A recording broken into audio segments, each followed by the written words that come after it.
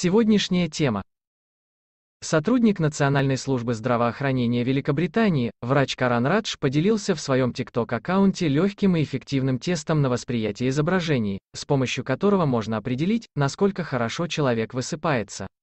Ролик под названием «Пройдите тест на недосыпание» собрал более 3,5 миллионов просмотров.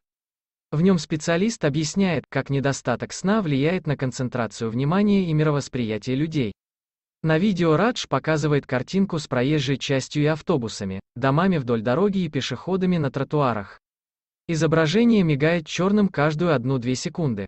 По словам врача, людям, которые не замечают изменений в сцене, необходимо ложиться спать раньше. Врач добавил, что верными признаками недосыпа также являются невозможность встать без будильника или заснуть в течение пяти минут и постоянное употребление энергетических напитков. Радж также рассказал про одну уловку, которая поможет быстрее заснуть. Он советует держать окно в спальне открытым. Таким образом уменьшается уровень углекислого газа в комнате и снижается температура тела. Этот простой способ заставляет мозг думать, что пора спать. Читайте также «Плохой сон отравляет женщинам сексуальную жизнь» смотрите наше видео. Ставь лайк и подписывайся на наш канал.